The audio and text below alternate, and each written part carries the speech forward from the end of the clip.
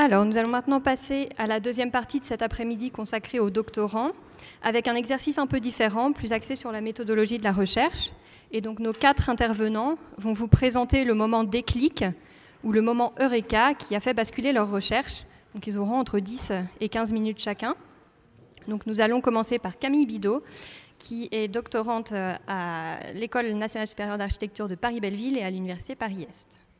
Alors, je ne vais pas tant vous faire une euh, grande réflexion méthodologique aujourd'hui, mais plutôt une suite de, conseils euh, pour survivre euh, à des grands changements de sujet, comme ce fut mon cas, mon drame et finalement ma chance, puisque j'ai fini par comprendre mon sujet de thèse cinq ans après l'avoir commencé. donc ce sera à partir de ma petite expérience, qui n'est donc pas forcément exemplaire, mais plutôt une euh, une, réflexion sur comment désacraliser un petit peu les périodes d'échec, d'incompréhension. Euh, vous n'êtes pas seul. Et euh, surtout que toutes les petites aides méthodologiques pour éviter les erreurs repérées au fur et à mesure.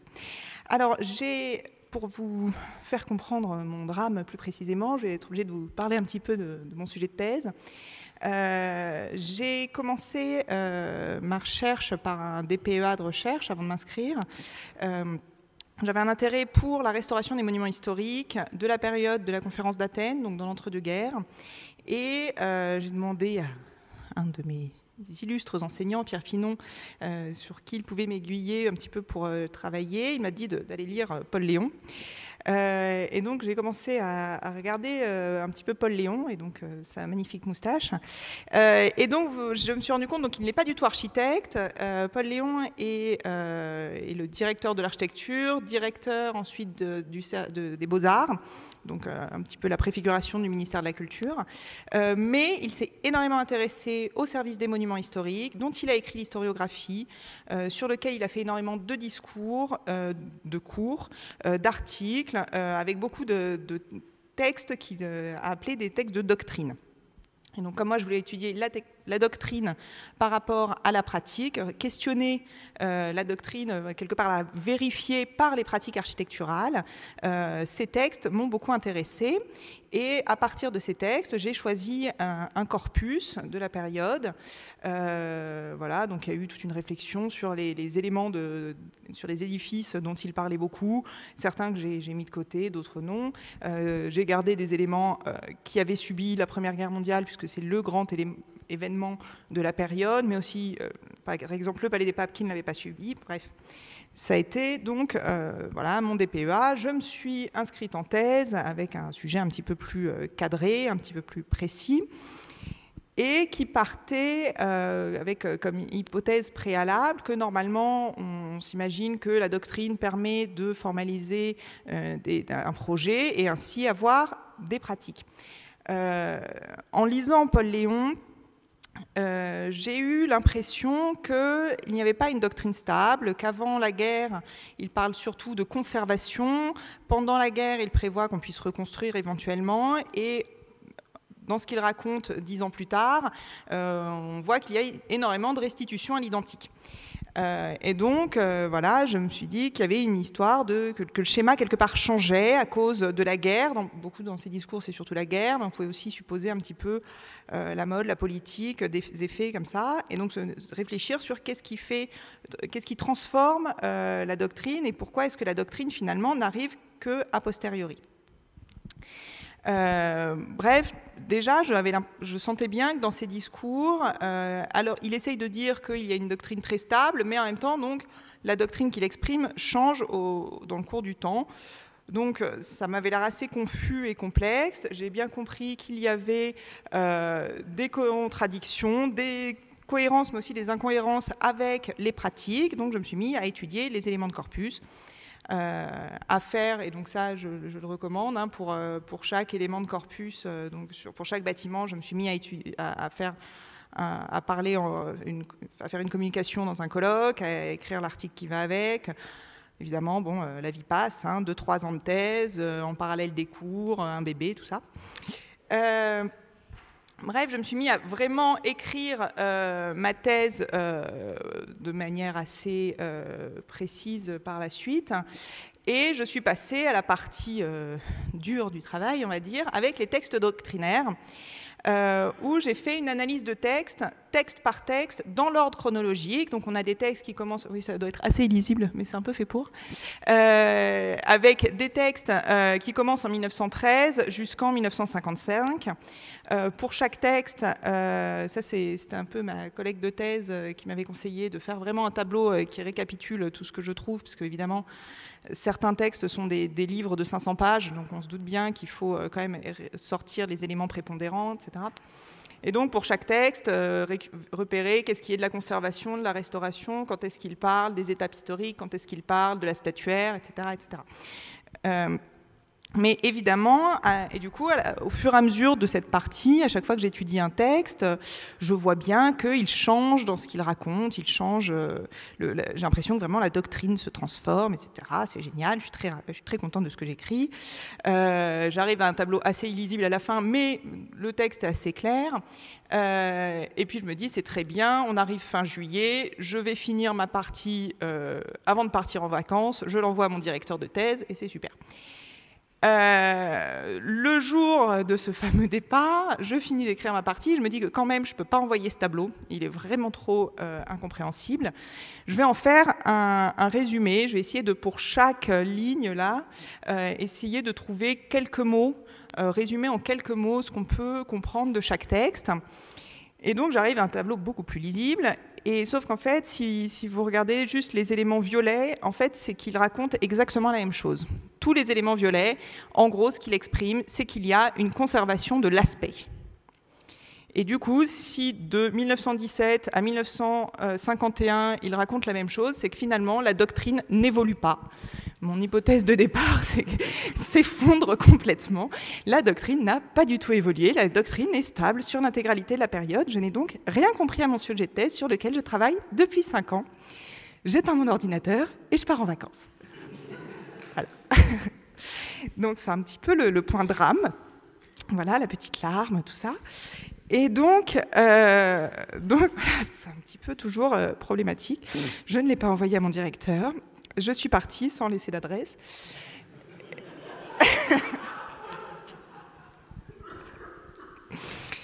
donc, euh, la courbe du deuil, évidemment. donc cet été-là, il ne fallait évidemment pas poser la question. Et sinon, la thèse, ça avance. Et donc, euh, bon, grande période de déni, colère, tout ce qu'on veut, dépression surtout.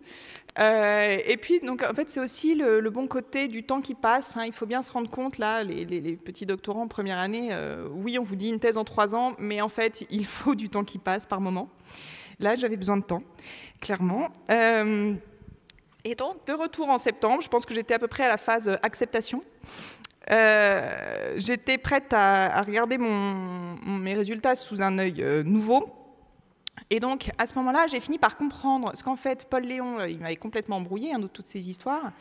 Euh, il n'avait en fait, euh, oui, il y avait une seule et même doctrine, mais en fait, il ne l'avait jamais exprimée. Même ces discours qui s'appellent doctrine euh, ne sont pas des discours de doctrine, ce sont des discours où il justifie des pratiques. Et donc, il passe son temps à justifier les, pratiques sans jamais exprimer clairement la doctrine, doctrine qui est donc complètement cachée quelque part. Et donc, on arrive à un résultat beaucoup plus propre, on va dire, euh, et surtout donc des grands textes de euh, justification, parce qu'il est quand même très très fort, euh, Paul Léon, puisqu'il arrive sans jamais, à, ne jamais dire quelle est la doctrine, alors qu'il fait des, dizaines et des dizaines de pages de doctrine, et il arrive à dire illisibilité des, opérations, irréversibilité, restitution à l'identique. Il, il, dit tout ça en disant La France monumentale a gardé son vrai visage, sans balafre ni cicatrice ce qui est quand même beaucoup plus poétique, on, lui accorde. Mais euh, moi, ça m'a juste complètement brouillé. Du coup, voilà, j'ai pu retrouver donc ce nouveau résultat, euh, essayer de l'exprimer de manière claire. J'ai écrit euh, en une journée un nouveau sujet de thèse que j'ai envoyé à mon directeur, que j'ai que j'ai vu, qui a trouvé ça génial. Il était ravi. Moi j'avais un peu plus de mal à me rassurer, mais, euh, mais il avait raison d'être enthousiaste dans le sens où euh, cette nouvelle, euh, ce, ce, nouveau sujet me permettait non pas d'être intéressante sur la période 1905-1933, mais d'être intéressante sur l'intégralité de l'histoire des monuments historiques, puisque la réflexion sur la doctrine me permet de parcourir des périodes aussi bien de Viollet-le-Duc à aujourd'hui, et donc d'avoir voilà, le fait que cette micro-histoire me permet en fait d'embraser et de et d'expliquer 200 ans de pratique. Ce qui est quand même beaucoup plus intéressant, on est bien d'accord. Et donc là, ce qui est intéressant, c'est un petit peu cette histoire, euh, justement, que le, petit doctorant euh, va, enfin moi en tout cas, dans mon cas, mais je pense que c'est pareil pour pas mal de mes compagnons. Euh, c'est très rassurant de faire une biographie, de faire une monographie, de s'intéresser à vraiment la micro-histoire, mais il ne faut pas oublier qu'en fait, euh, tout ça nous permet de euh, monter en généralité, de devenir un, réellement intéressant lorsque justement on éclaire plus largement une thématique. Et il ne faut pas avoir un peu le syndrome de l'imposteur et avoir peur de partir, de passer à ce moment de généralité. Euh, ça, met du temps, mais en fait, euh, effectivement, au bout de cinq ans, on devient le euh, spécialiste d'une thématique et il faut oser l'accepter. C'est dur, mais en fait, ça se fait. et du coup, on peut atteindre la phase sérénité. Et du coup, on arrive à un nouveau, nouveau titre. Euh, beaucoup, plus, beaucoup plus simple et plus percutant, évidemment. Euh, et puis après, évidemment, il faut quand même écrire deux parties, parce que la première, elle était écrite depuis très très longtemps, en fait, depuis en, gros mon DPEA. Euh, les deux, les deux parties suivantes, il fallait les écrire, parce que j'en avais déjà écrit une, mais je venais de l'acheter à la poubelle, donc fallait quand même que j'en écrive. Euh, et du coup, j'ai décidé de commencer par écrire sur les, pratiques et pas la doctrine, de façon à mettre, là encore, une année euh, pour s'approprier ces résultats, pour euh, repartir sur autre chose, repenser cette, cette, histoire de doctrine, accepter surtout cette histoire de doctrine. en parler l'année dernière aux rencontres de la HA, en parler pendant mes cours à côté avant de pouvoir revenir, réouvrir le dossier, parce que je ne l'avais pas vraiment jeté à la poubelle en vrai, euh, et récupérer des morceaux entiers, parce que même si euh, la trame générale et ce que j'en concluais n'était pas juste, il n'empêche que j'avais vrai sur beaucoup de parties. Donc on peut toujours récupérer ce qu'on a écrit ailleurs. Euh, l'autoplagiat est tout à fait autorisé. Et donc, voilà, ça a été un peu éprouvant, certes, émotionnellement. Mais voilà, la thèse, c'est comme ça, c'est éprouvant. Et donc, euh, les, conseils que je pourrais en tirer pour euh, mes, chers euh, collègues doctorants, c'est de ne jamais rester seul dans son coin, ne pas hésiter à échanger sur les pratiques entre doctorants. C'est une collègue qui m'avait conseillé de faire des, tableaux en, première intention. se forcer à faire des conférences et articles régulièrement pour s'obliger d'une part à écrire et d'autre part pour en parler avec d'autres accepter que ces résultats soient différents que ceux qu'on attendait. Ça, c'est très dur, mais c'est mieux. Euh, toujours écrire, puisque au final, euh, c'est en écrivant qu'on avance, même si c'est en écrivant qu'on se rend compte qu'on n'a pas tout compris. Euh, mais il faut écrire pour s'en rendre compte, sinon ça ne marche pas. beaucoup se rassurer sur le syndrome de l'imposteur, euh, ça, euh, voilà, ça met du temps, mais en fait, euh, on atteint des, instants consécration. cette semaine, j'ai parlé à Chaillot. J'avais hâte depuis six mois d'assister aux rencontres, enfin, aux deux journées sur la première reconstruction. Et en fait, ils m'ont écrit il y a quelques mois parce que bah, effectivement, sur le service des monuments historiques dans la reconstruction, c'est moi la spécialiste. Sur certains des édifices, c'est moi la spécialiste. Et donc, voilà, on atteint des moments où en fait, on se rend compte que on devient quelqu'un de reconnu dans le milieu et ça fait plaisir. Euh, donc ça fait un peu peur aussi, mais ça fait plaisir quand même. Euh, et donc voilà, il faut du temps, il euh, faut laisser du temps à la thèse pour, pour avancer et pour survivre à des moments un petit peu intenses comme ça. Il faut pas trop de temps non plus, parce que ça fait quand même 6-7 ans que je suis en thèse, il est temps de finir. Euh, mais il ne faut pas, euh, mais voilà, il faut pas hésiter à faire ainsi euh, beaucoup de tableaux, histoire de ne pas se noyer dans les dans les archives, se noyer dans les mots. Moi, j'étais complètement noyée dans les mots. et donc pour ça, faire des tableaux, les organiser et surtout les synthétiser de façon à pouvoir en sortir des données cohérentes et accepter qu'éventuellement ils ne disent pas ce que vous aviez envie qu'ils disent. Voilà. Merci.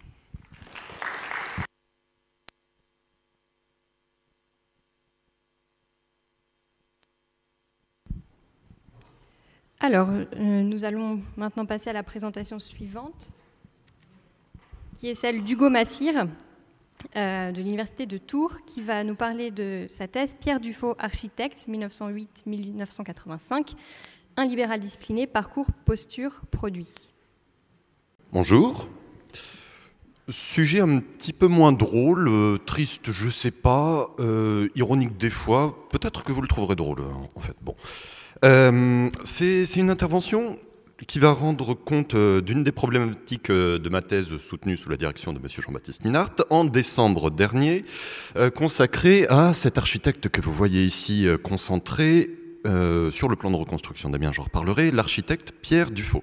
Alors derrière ce titre un peu polémique pour cette, cette, intervention, j'ai voulu questionner à la fois la... Hum, la réception de, ce type d'architecte et euh, de ce type de carrière dans l'historiographie et en même temps euh, la manière dont a évolué la définition de la modernité en architecture au cours des années 1940 et en particulier sous le régime euh, de Vichy. Donc je vais tâcher de vous expliquer comment ces questions sont apparues au cours de ma thèse, tant par la découverte de, de documents inédits ou pas très connus que par le constat assez tardif puisque c'était l'été dernier, un moment où j'avais déjà commencé ma rédaction de thèse quand même, euh, que j'étais en train de passer à côté de quelque chose et qu'il fallait que je change profondément euh, mon plan, ce qui a donné également de, de fort bonnes euh, vacances. Bon, euh, alors pour revenir une petite minute sur euh, quelques éléments de cadrage autour de Pierre Dufaux. Donc c'est un architecte qui est né en 1908, premier second Grand Prix de Rome en 1938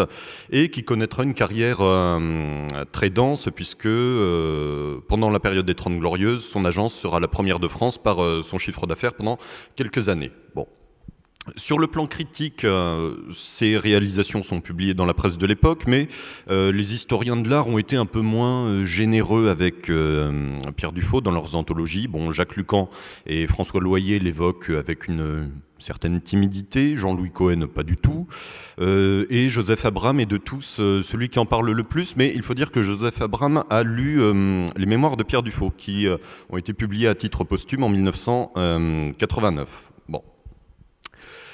Euh, à la fin de ses mémoires, publiées en 1989, Pierre Dufaux avait fait inclure une sorte de best-of de, son œuvre, c'est-à-dire le, top 30 de, des œuvres qu'il considérait comme les plus représentatives euh, de sa carrière.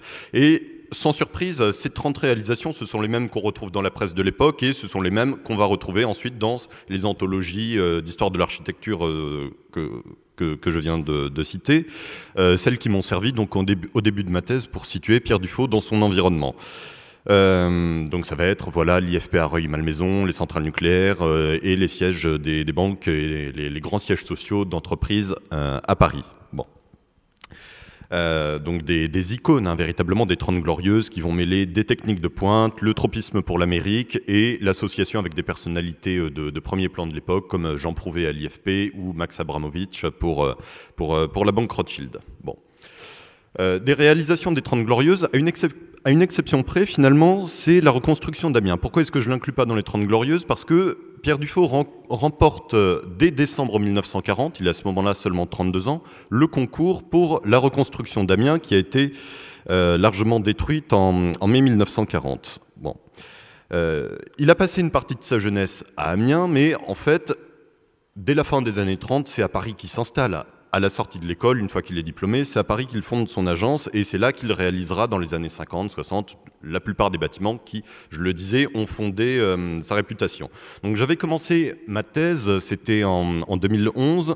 Euh, en pensant articuler mes problématiques autour de ce qui donc avait fait le, succès euh, financier, en tout cas, de cet architecte pendant les Trente Glorieuses et en traitant en particulier de ses projets dans la capitale et en laissant de côté cette reconstruction d'Amiens avec laquelle j'étais pas très à l'aise. Pourquoi? Bah Déjà parce que c'est énorme, c'est loin d'où j'habitais aussi, on va le dire clairement, et euh, ça aurait pu faire l'objet d'un sujet de thèse à part entière. De même, quand on pense à la reconstruction d'Amiens, le premier réflexe, c'est Perret, ça va être la place de la gare, ça va être la tour euh, de la place euh, Alphonse Fiquet, alors que, en fait, c'est un secteur relativement excentré par rapport au reste de la ville d'Amiens, puisque tout le centre-ville d'Amiens a été, à l'exception de la cathédrale évidemment, démoli, incendié plutôt en mai 1940. Bon.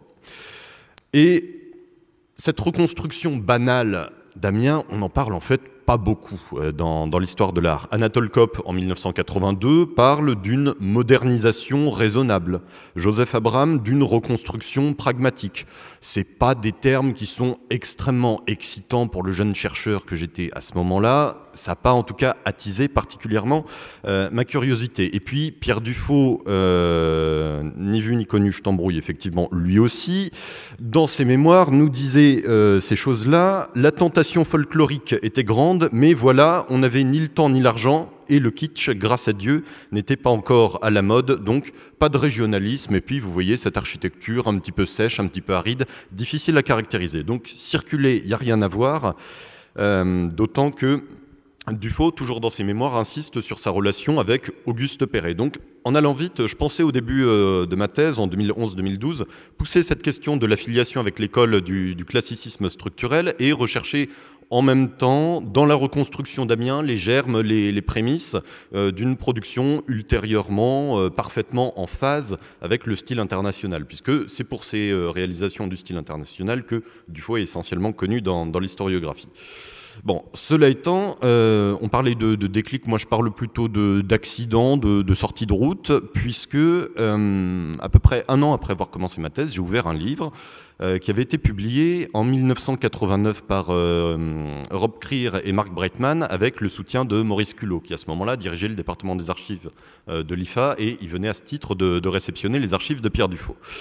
J'ouvre ce livre et à un moment, je tombe là-dessus. Bon, connaissais un petit peu mon sujet et pour moi, ça, c'était pas du style international. Pas vraiment, en tout cas.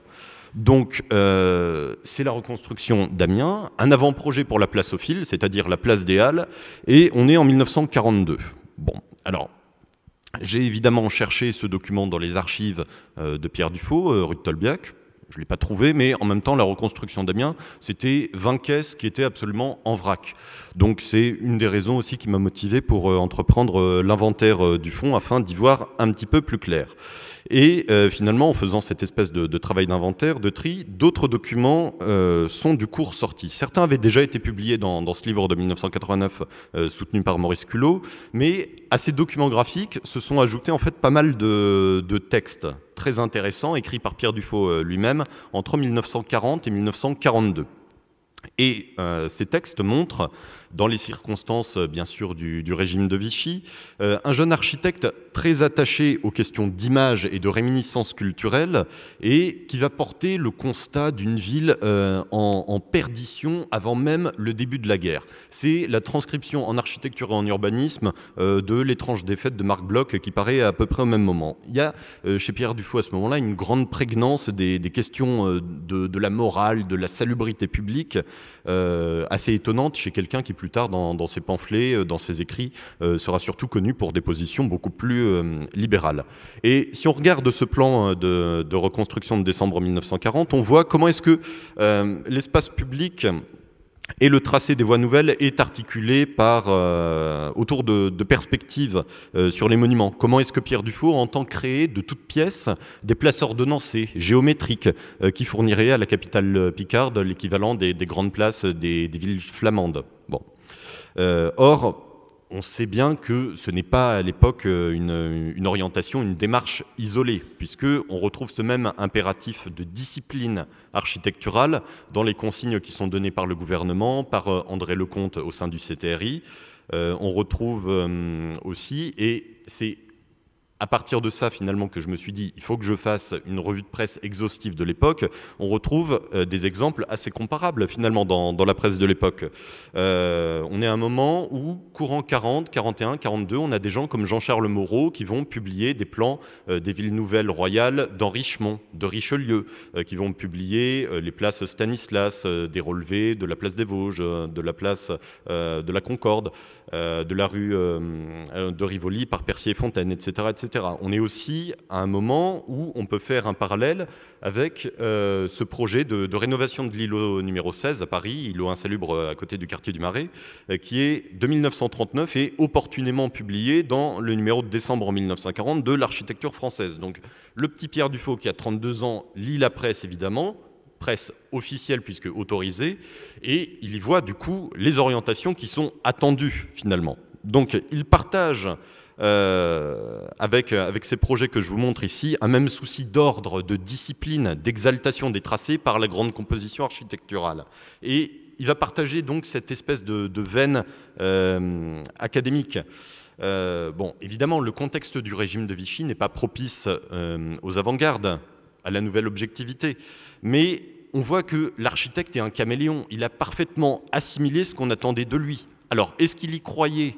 Est-ce qu'il l'a parfois surjoué? Peut-être, mais on trouve au même moment exactement les mêmes choses à Valenciennes avec Albert Laprade ou à Orléans avec Jean Royer.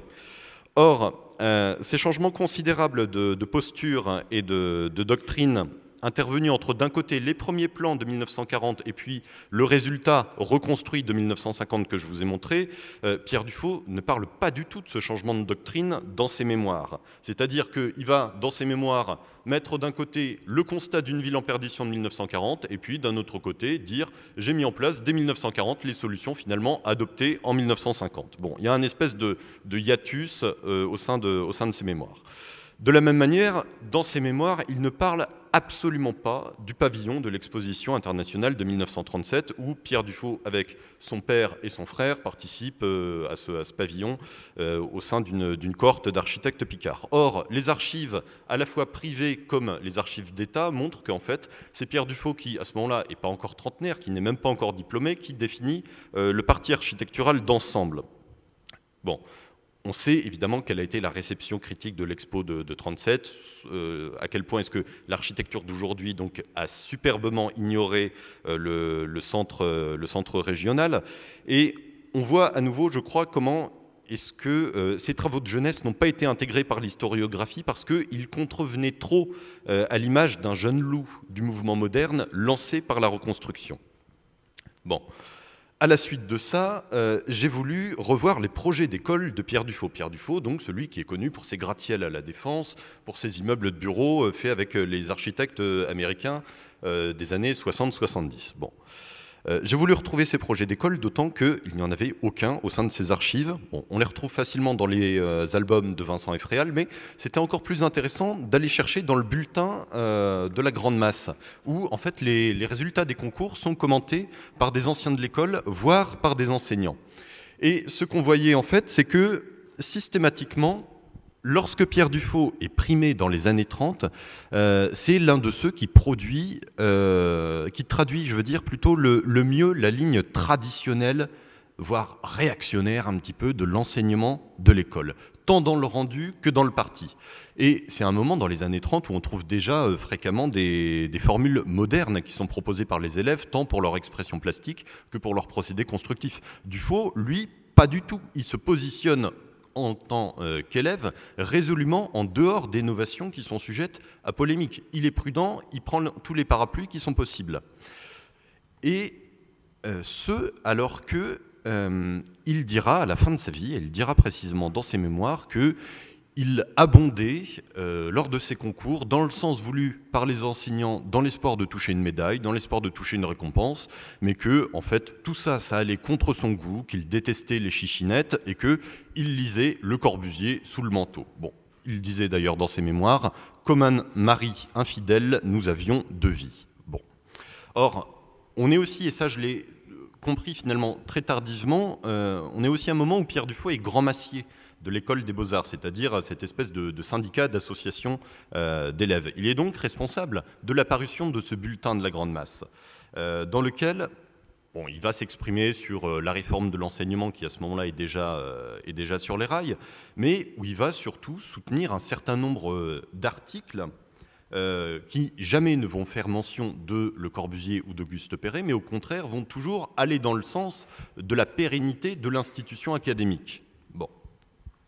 Et on a un exemple également très frappant qui est donné avec euh, son prix de Rome. Donc, il est premier second Grand Prix de Rome en 1938, derrière Henri Bernard. Henri Bernard, un architecte qui a eu un petit peu la même carrière, on pourrait le croire plus réactionnaire, plus traditionnaliste. Et en fait, c'est en 1938 Henri Bernard qui propose le projet, et de très loin, le plus moderne, euh, avec un projet très rationaliste qui va susciter la controverse. Alors que Pierre Dufaux, lui, vous le voyez, eh ben, c'est un projet qui évoque le palais de Chaillot, qui va, évoquer le, le, palais des musées d'art moderne, euh, les réalisations de, de, Piacentini dans le quartier de, de Léour euh, à Rome. Et cette, cette excellence dans, le refus de l'audace, si je puis dire, elle va étonner jusqu'à euh, Gustav Umdenstock, qui était euh, donc l'auteur du, programme euh, de, ce sujet de prix de Rome, qui va écrire donc dans, ce bulletin de la Grande Masse. Je vais le citer. Notre révolution architecturale moderniste nous a causé beaucoup de troubles, et si l'on demandait à l'auteur du projet, Pierre Dufaux donc, pourquoi il, a tenu, à être prudent et sage, il aurait le droit de répondre dans le même sentiment que celui de l'abbé Sieyès après la grande tourmente révolutionnaire à la question Qu'avez-vous fait pendant ce temps-là? Il répondit J'ai vécu. À cette époque, c'était déjà beaucoup d'avoir sauvé sa tête, de même pour le concours affronté par le logiste lauréat, d'avoir réussi à sauver un premier second Grand Prix. On éprouve à l'examen du plan et de la façade cette sensation curieuse, à l'exemple d'une carte d'invitation officielle qui mentionne que la tenue de soirée est de rigueur, et avec prière de s'y conformer. Bon. Alors, cette réévaluation, du coup très tardive dans le cadre de, de, ma thèse, des premières années de la carrière de Pierre Dufaux, à partir d'une production très mince. Hein, il construit quasiment rien avant 1945, mais il y a beaucoup par contre d'architecture de papier et surtout de texte. Cette réévaluation donc m'a permis euh, de, traiter, d'appréhender, j'espère un peu plus finement, euh, ces maisons euh, qu'il construit dans la Somme à la fin des années 40 et qui sont un peu, un peu difficiles à caractériser. Et ça me mettait d'autant plus mal à l'aise qu'elles sont quasiment contemporaines, à un ou deux ans près, des immeubles de, de, bureaux extrêmement modernes, extrêmement rationalistes qu'il construit quasiment en même temps à Paris. Alors il n'y a pas de, référence historique ou vernaculaire. On voit des, élévations euh, simples, généreusement percées, avec euh, des lucarnes euh, cintrées, doublées de volutes, des corniches aux moulures assez fortes. Mais je parlais au début de définition de ce qu'est la modernité. On a ici une sorte de réponse, et on est après 1945 à ce nouveau classicisme qu'appelait Louis Hautecoeur en 1942, à cette voie médiane entre régionalisme et machinisme que souhaitait au même moment, en 1942, euh, Michel Rospitz, et qui devait euh, donc constituer une autre proposition de, modernité par opposition à, à Le Corbusier. Donc au moment finalement où j'ai compris ça en étant un petit peu lent à la détente à l'été 2017, euh, il a fallu donc que je m'infuse non seulement tous les numéros de, l'architecture française euh, parus entre 40 et 45, euh, tout ce qu'a écrit évidemment Jean-Claude Vigato sur, sur le régionalisme notamment. Donc ça a fait un certain nombre de, de, rattrapages de lecture qui ont été assez intéressants, mais qui ont été assez nocturnes également. Bon. Et pour aller plus loin, et je terminerai du coup là-dessus, l'importance de ce creuset académique chez Pierre Dufaux permet aussi d'appréhender euh, différemment ces immeubles de bureaux parisiens de la fin des années 50 euh, à l'écriture extrêmement sobre, évacuant tout ornement et que j'avais un peu de mal euh, déjà à définir, à décrire et aussi un peu de mal, je le dirais vraiment, à aimer. Et finalement, c'est des immeubles qui se laisse pas saisir facilement, mais euh, qui renvoie, bon, déjà par son goût pour les beaux matériaux, il faut imaginer du marbre, hein, du bardiglio, euh, qui renvoie à l'architecture italienne, euh, mais qui, dans leur composition, témoignent aussi vraiment des rémanences classiques qui s'exercent encore chez un homme qui va à New York à ce moment-là tous les ans, et on est ici à deux pas du parc Monceau, et si vous regardez la partition verticale qui respecte la, trame historique des, immeubles classiques, rez-de-chaussée surmonté de l'étage noble, trois niveaux d'étage courant, et ensuite l'attique qui reprend la, rythmique binaire euh, des frises de, triglyphes et de métopes, puis ensuite au-dessus la corniche. Et euh, pour finir, euh, le croisement le plus extrême, si je peux dire, entre ce langage formel qui est celui du style international et euh, la, science de la grande composition de l'école des beaux-arts, avec euh, le palais présidentiel d'Abidjan de Félix Houphouët-Boigny en 1960-61, sur un programme qui aurait parfaitement pu constituer un sujet de concours de Rome. Voilà, je vous remercie pour votre attention.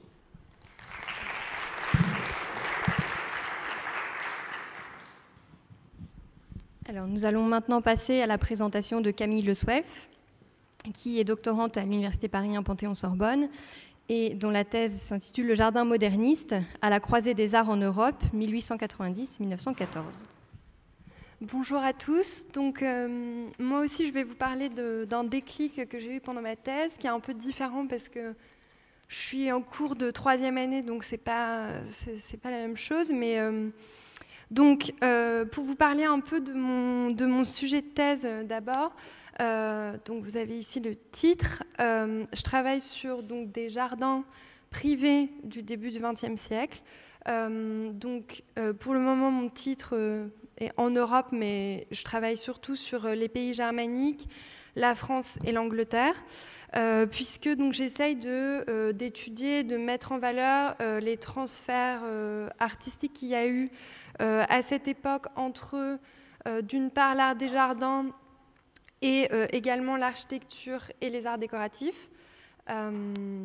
Donc, puisque j'ai pu observer que la plupart de la théorie, enfin la théorie du jardin moderniste qui a émergé à partir de la fin du 19e siècle jusqu'à et qui s'est, disons, traduite dans des réalisations de l'entre-deux-guerres, dépendait surtout de groupements euh, artistiques pluridisciplinaires euh, qui sont donc euh, très connus pour l'histoire des arts de manière générale, donc les Arts and Crafts en Angleterre, le Deutscher Werkbund en Allemagne ou encore les Wiener Werkstätte en Autriche. et donc je m'intéresse également aux circulations en fait des images et des idées entre euh, ces différents groupes et euh, entre euh, les différents centres artistiques européens au sein desquels ils, pratiquent. donc, je vais vous parler d'un déclic que j'ai eu par rapport à mon cadre chronologique qui a été très problématique pendant un certain temps dans mon étude. Donc l'idée de départ, c'était donc de travailler, d'essayer de montrer que ces jardins de l'entre-deux-guerres, enfin surtout conçus pendant l'entre-deux-guerres après l'exposition des arts décoratifs de 25, donc j'avais mis voilà cette idée de date clé de 1925 avec l'exposition des arts décoratifs de Paris donc que ces jardins, euh, en fait, qui avaient toujours été, qui ont été appelés euh, pour certains jardins cubistes, jardins géométriques, etc., euh, en fait, se sont fondés sur certaines théories à la fois artistiques, architecturales et jardinistes qui avaient été imaginées depuis en fait la fin du, du 19e siècle. donc, pour vous montrer un peu de quoi il s'agit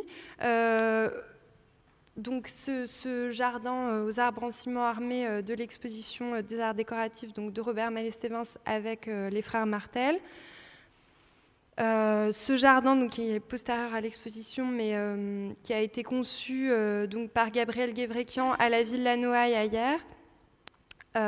donc, vous voyez des jardins qui s'éloignent pour la plupart vraiment de, de l'idée de jardin, mais qui sont très proches en fait, souvent de pratiques architecturales et euh, décoratives, et qui sont d'ailleurs pour la plupart euh, conçues, bah, comme Malestévens, donc euh, sont des architectes. Voilà. Mais euh, donc, ça a été très problématique au départ de concevoir en fait l'étude de ces jardins qui ont pour la plupart disparu et pour lesquels on conserve très peu de sources. et donc, je me suis retrouvée assez rapidement face à des problèmes méthodologiques qui étaient donc d'une part comment euh, étudier ces jardins euh, si je ne trouvais pas plus de sources que celles qui existaient jusqu'alors? Et finalement, c'est à peu près ce qui est arrivé. Euh, et comment, en fait, les mettre en perspective avec les théories d'avant la guerre de 14, puisque donc on a quand même un, bah, un, comment dire, une, un vrai un changement à la fois artistique et politique et économique énorme, donc qui est celui de la guerre de 14 et qui implique en fait une distanciation dans la réalisation de, de, ces jardins par rapport à la théorie. Et donc en fait, je me suis rendu compte assez rapidement que je voulais réintégrer, enfin réintégrer oui, ces jardins dans leur histoire et en fait dans une histoire euh, plus générale euh, des arts décoratifs, euh, de, des pratiques architecturales et artistiques, mais en fait en creusant justement dans les doctrines et dans, les, dans la théorie, je me suis rendu compte qu'ils s'en éloignaient énormément. Et du coup, j'avais voilà, cette, cette période en fait d'avant-guerre qui était une période d'émergence en fait d'un d'un champ euh, du jardin, de l'art du jardin moderne, et puis euh, la réalisation de cette théorie. Et donc, euh, j'en étais là quand j'ai participé à ce colloque, dont je vous ai mis l'affiche ici, donc, qui s'intitulait Les années 10, enfin les années 1910, art décoratif, mode design, qui a été organisé à l'INHA par Jérémy Serment en 2016.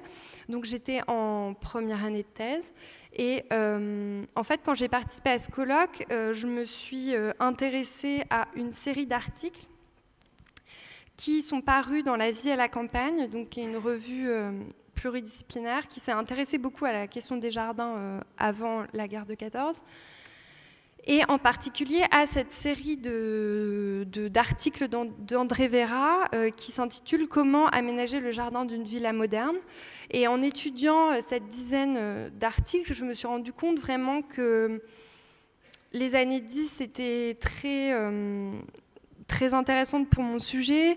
à la fois parce qu'en fait, il y a énormément de publications théoriques qui sont faites à la fois par André Vera, mais aussi par d'autres théoriciens français dont j'avais pas forcément connaissance parce que c'est des choses qui ont parfois été oubliées et qui prenaient parfois la forme simplement de séries d'articles justement dans ce type de revue.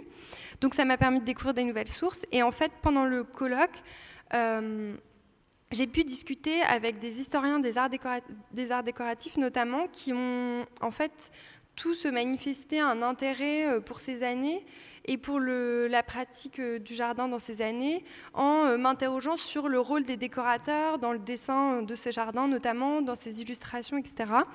Et donc en fait, je me suis rendu compte qu'il y avait vraiment un mouvement de chercheurs vers ces, vers ces années qui étaient bon, voilà, à la charnière juste avant la, la, guerre de 14.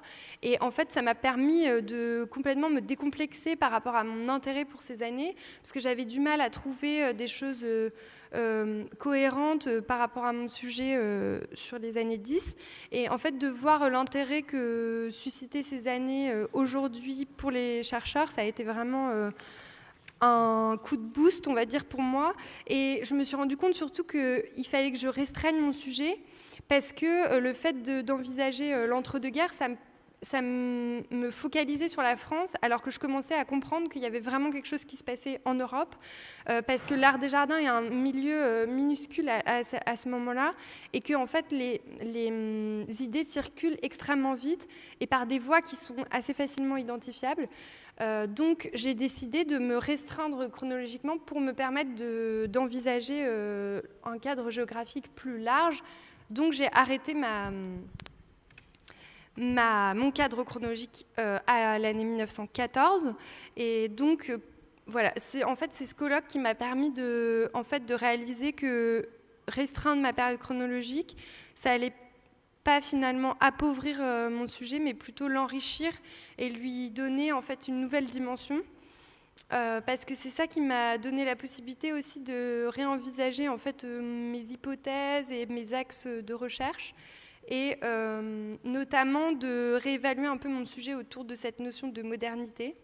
Euh, voilà, qui, me, qui anime vraiment mon sujet aujourd'hui parce que j'essaye de vraiment me concentrer sur euh, l'émergence voilà, d'un champ de l'art du jardin lié au concept de modernité, aux théories artistiques et architecturales de la modernité. Et donc, en fait, c'est cette restriction qui m'a permis d'assumer en fait cet intérêt complètement historiographique pour la période euh, et de voilà de délaisser euh, en fait la réalisation, euh, les réalisations pour me concentrer sur quelque chose qui n'a pas du tout, euh, beaucoup moins en tout cas été étudié pour la pour les jardins.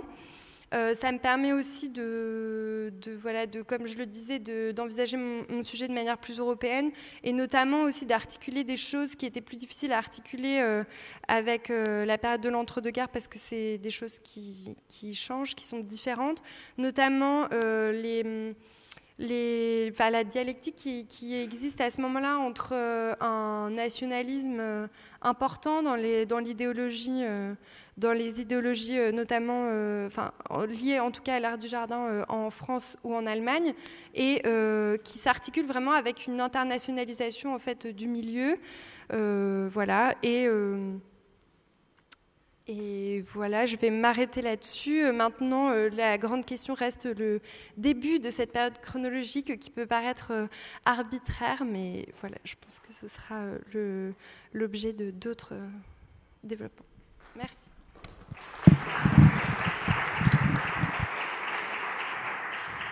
Alors, la dernière présentation pour cette session va être effectuée par Gaël Huitorel, donc de l'École nationale supérieure d'architecture de Paris-Belleville et de l'Université de Lille, donc avec une euh, thèse qui porte sur les pratiques constructives en milieu rural et influence sur le territoire, le domaine des frères Métayer dans le pays de Rennes au XIXe siècle. Bon, bonjour. Euh, je suis moi-même en, thèse, en, toute fin de, en toute fin de thèse. Euh, c'est prévu au printemps, le dépôt, avec Jean-Philippe Garrick également. Euh, donc en effet, comme euh, ça a été dit, je, travaille sur des, innovations constructives en, milieu rural, euh, avec une approche, je, vais, en reparler après, c'est vrai, plutôt micro-historique, et voire même monographique, d'accord? Voilà. Alors j'ai fait une présentation assez courte, je pensais que c'était vraiment 10 minutes, donc je me suis concentré plutôt sur le cheminement, en effet, de, de la recherche, un peu plus que le sujet en lui-même, même si je vais, je vais l'évoquer. Euh, je vais peut-être insister bon, sur un événement qui a, bouleversé le, la, recherche, mais aussi sur la part d'intuition qu'il peut y avoir euh, euh, dans, dans, dans, tout ce processus de, de recherche qui, c'est vrai, comme le disait Camille, est assez long. voilà, parfois, il faut persévérer, avoir aussi parfois de, de la chance, une bonne étoile. ah oui, alors comment on fait? On fait comme ça. Hop. Alors, euh, j'ai également fait le, DPEA à, l'école euh, à l'école de, Belleville, d'accord, en 2011-2012, où j'ai alors cette question de, l'innovation constructive à partir du bâti agricole, je l'ai d'abord abordé à travers euh, un corpus déjà de, littérature. Ici, on a un exemple euh, d'un traité de Bouchard-Husard. Tout au, au, 19e, il y a eu pas mal de, littérature sur la, question de, on, va dire, de la modernité un peu du patrimoine, euh, patrimoine rural. Euh, et où il y a eu beaucoup de, travaux à partir des années 2000 là-dessus, des colloques à l'INHA, aussi à, la Cité. alors, et bon, ces, traités, euh, euh, ils, sont le point de départ euh, de, constructions qui ont eu lieu donc, en milieu rural, ce qu'on appelle des fermes modèles, qu'on trouve finalement de manière assez répandue sur le territoire en, France. donc j'ai commencé à travailler, à faire des tests un peu de corpus sur ces fermes modèles, au début de manière un petit peu peut-être désorganisée. Ces fermes modèles dont dont on peut tirer peut-être trois objectifs qui sont la, diffusion, c'est-à-dire donner l'exemple sur le territoire, parce qu'il s'agissait de, en gros, en 1850, 1800, 1900, une, ferme, on va dire, euh, modeste, courante, et autour de, 10 hectares. Donc il s'agissait de, euh, à, la suite des, théories euh, physiocrates, de faire rentrer l'architecture, l'agriculture dans, une économie voilà, un peu plus plus, plus, plus, intense. Euh, donc la diffusion, donner l'exemple euh, à ces paysans modestes, l'hygiène qui est un des maîtres mots, l'économie, l'économie qui, transparaît énormément dans, tous ces traités, et puis la rentabilité. Alors, les premiers tests de corpus que j'ai effectués, ils mettaient en, en, avant finalement un aspect qui euh, qui était euh, aussi lié au pouvoir, c'est-à-dire de, propriétaires éclairés qui venaient comme ça reconquérir la, campagne et qui, en construisant des bâtiments, euh, bah, aussi exerçaient de manière un peu ostentatoire cette question du, pouvoir en donnant l'exemple. donc les faces avec un travail notamment sur, sur les façades, etc., sur la composition, parfois au détriment de l'usage ou en tout cas d'une réalité du terrain ou des acteurs qui, moi, de manière aussi un petit peu intuitive, m'intéressaient. Donc euh, voilà, il y avait cette euh, forme d'insatisfaction un petit peu sur ces premiers éléments de, corpus. Euh, et puis, je fais un premier élément de corpus, notamment sur l'architecture fromagère en Normandie. Ensuite, j'ai travaillé, je me suis concentré sur l'île et Vilaine, qui a une situation, que je connais euh, personnellement, mais une situation intéressante qui est un petit peu une situation un petit peu d'entre-deux, entre, euh, je dirais, une, une, campagne assez, assez modeste, même si c'est très schématique de dire ça, euh, peut-être plus à l'ouest, et puis une campagne en Mayenne et en Sarthe, plus proche de la capitale, qui a connu des propriétaires qui se sont engagés notamment dans la construction de fermes modèles. Donc cette région d'Ille-et-Vilaine, un petit peu entre deux, me, que je trouvais intéressante, avec une architecture particulière qui est celle-ci, euh, cette architecture euh, locale en terre, qui est une technique de, terre crue, d'accord? C'est-à-dire que c'est de la, c'est de la bauge, c'est pas le, le lyonnais euh, qui lui est une structure de terre crue banchée. Ici, on a une, technique qui est concentrée plutôt en Ille-et-Vilaine et dans le Cotentin, d'architecture vraiment assez modeste, ordinaire, celle du, paysan bâtisseur, hein, qui parfois la construit lui-même, euh, Anne-Claire de Chazelle euh, situe un petit peu l'origine de cette, euh, cette, architecture de terre crue en Afrique entre 2000 et 3000 ans avant Jésus-Christ. Donc voilà, il y a quelque chose d'assez ancré comme ça, qui est évidemment en lien avec la, géologie du, terrain. Euh, et puis, euh, ben, faire des recherches en milieu rural, y a le rapport au terrain m'intéressait, d'aller aussi euh, au-delà finalement de la littérature. J'ai visité, je suis tombé sur ce, bâtiment qui avait été repéré par l'inventaire, le service de l'inventaire, qui avait voilà, identifié des bâtiments de grande, avec des grandes portées, etc., mais n'avait pas forcément été beaucoup plus loin dans les investigations. Et puis, ben, en tant qu'architecte, je, je, bon, mais je, vais dans, les combles et puis euh, j'aperçois ces, ces, constructions un peu particulières. Euh, des bâtiments en effet très très épais, c'est-à-dire très larges, avec des grandes portées d'environ 12-15 mètres de portée sur un bâtiment en terre crue, ce qui n'est est pas forcément banal. Et puis ces, charpentes euh, assez, assez originales, assez singulières, en charpente mixte, bois-métal qu'on retrouve dans les traités de l'époque, notamment Ernest Bosque les décrit très bien. C'est voilà, on est sur le principe du polonceau qu'on trouve dans les gares, avec euh, finalement assez peu d'éléments de, l'industrie euh, euh, et du métal, avec uniquement ces, ces poinçons, ces tirants, et puis finalement beaucoup d'éléments en bois qui sont puisés dans le domaine agricole, ces bielles en bois et ces, ces arbalétriers. Donc pourquoi je parlais d'intuition? Parce que là, je, suis face à, quelque chose qui est un petit peu, un peu particulier. Euh, ces types de structures qui, d'un point de vue vraiment constructif, bah, nécessitent des, savoir-faire assez particuliers parce qu'ils ne sont pas forcément euh, facilement associés à, la, structure en terre qui marche à la compression et ces structures tendues qui parfois ont tendance à marcher à la traction. Donc voilà, il y avait un défi constructif intéressant. Et là, ben, j'ai montré cet élément de corpus à mon directeur euh, bon, c'était un bâtiment, quoi. Euh, un bâtiment. Moi, j'avais, je, comprenais qu'il y avait l'idée de la préfabrication derrière tout ça, parce que ces éléments étaient euh, préfabriqués en série. Donc, je m'interrogeais est-ce que c'est un bâtiment? Est-ce que c'en est plusieurs? Est-ce que c'est un domaine? À quelle échelle c'est, etc. est-ce que c'est le facteur cheval lyonnais qui a ici eu un, coup un peu de génie sur un bâtiment Enfin, de génie, en tout cas. Moi, j'y étais sensible. Euh, donc voilà, il y avait quelque chose qui, qui m'interpellait en tout cas. Euh, et puis, bah, pour aller un peu plus loin, finalement, bah, j'ai fabriqué les sources, c'est-à-dire les sources primaires, qui étaient uniquement à partir des, des bâtiments.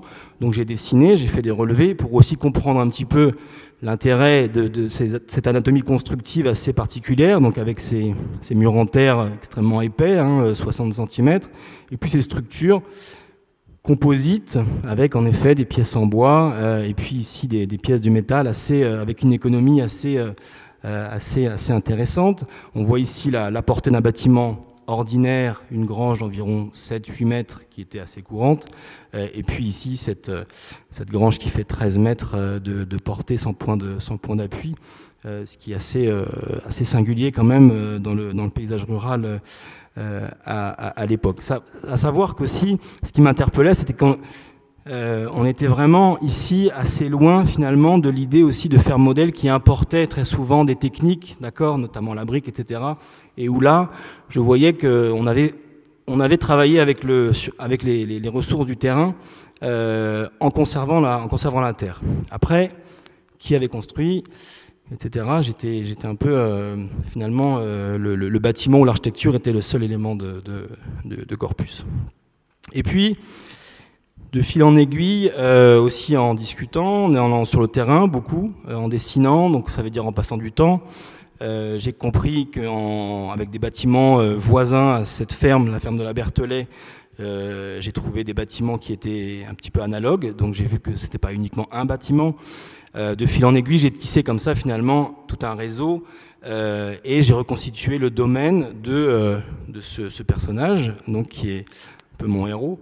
Euh, vous allez comprendre pourquoi. Octave Métayer, euh, qui en fait est le, propriétaire à l'époque de cette, cette ferme-là.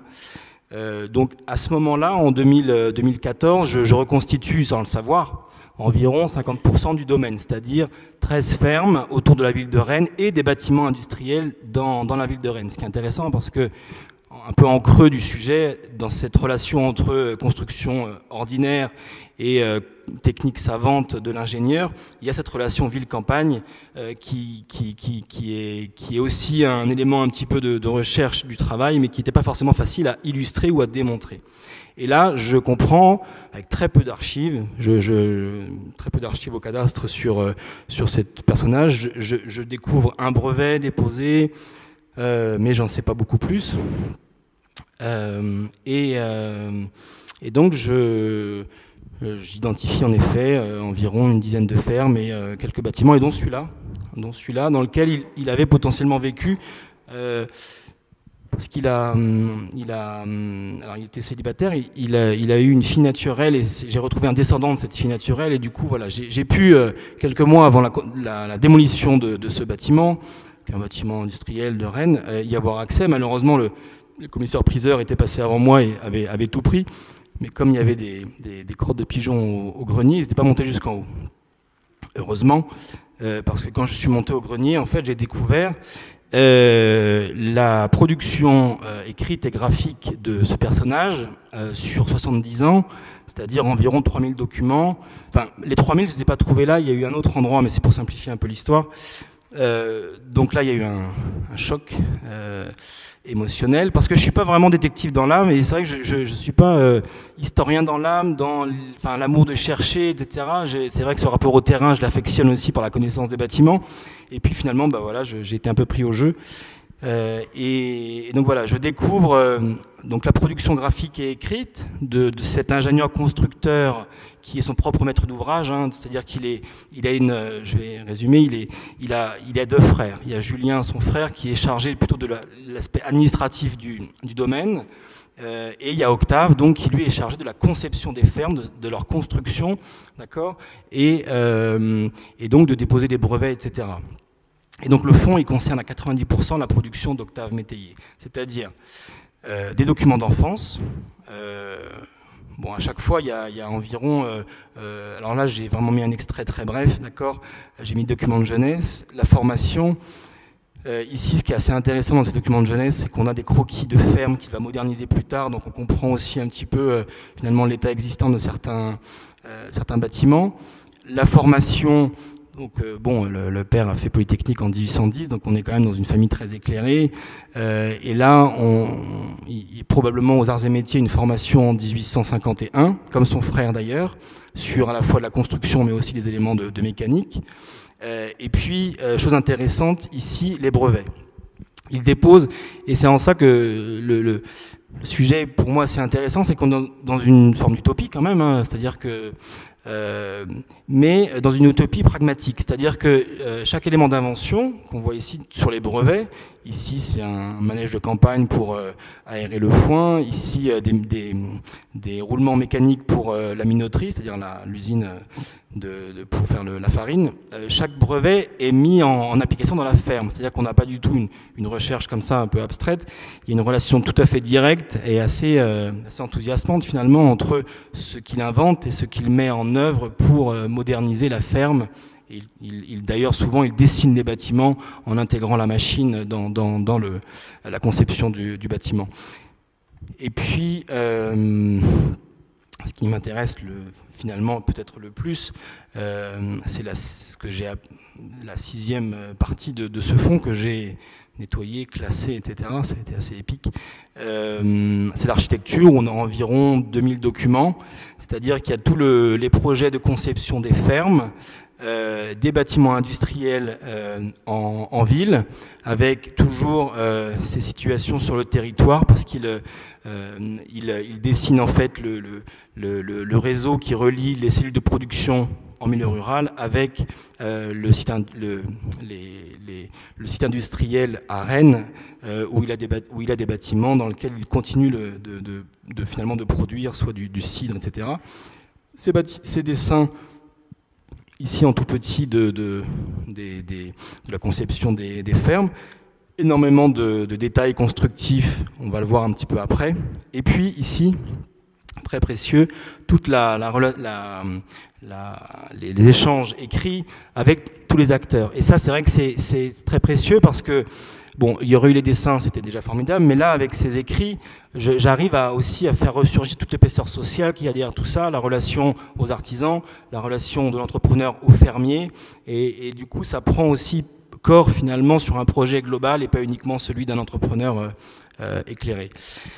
Alors, euh, après quelques mois de, situation un peu, un peu traumatique, hein, comme disait mon directeur, il a fallu refaire surface. et bah, il y a plusieurs choses qui, s'ouvrent là. On est un petit peu dans, finalement un peu au lendemain des Lumières, avec un savoir complet qui peut être très déroutant finalement, parce qu'il y a beaucoup de thèses dans la thèse quand on a tous ces documents.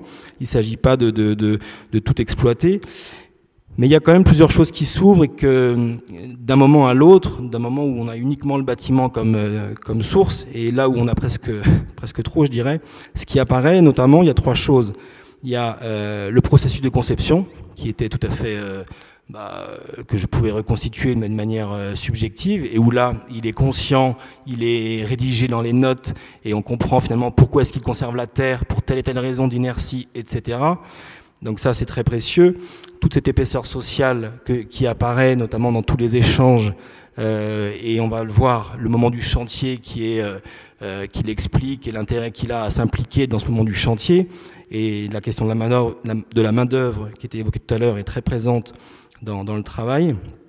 Et puis, euh, ce qui apparaît aussi, et ce qui m'intéressait dans les premières intuitions, euh, dans le fond, c'est toute la relation entre l'innovation constructive, et euh, d'une part l'usage, toujours lié à l'usage et à la pratique de la ferme, et en deuxième temps, euh, en relation avec une stratégie territoriale euh, qui met toujours la ferme en réseau les unes avec les autres et à la ville.